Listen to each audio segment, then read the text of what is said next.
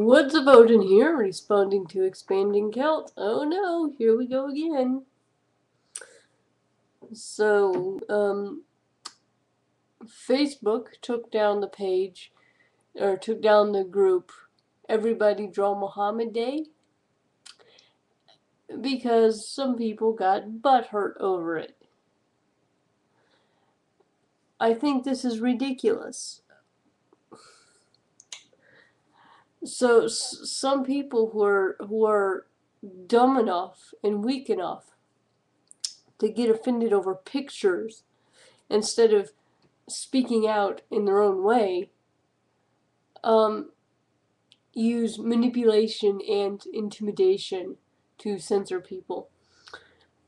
Well, shit.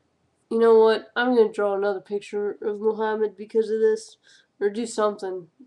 Oh boy, this is ridiculous. So yeah, expanded Celt. This is my little support video for your cause. And I'm gonna hang out for a minute so YouTube doesn't cut me off. Hi, Sadie. Come here. What up?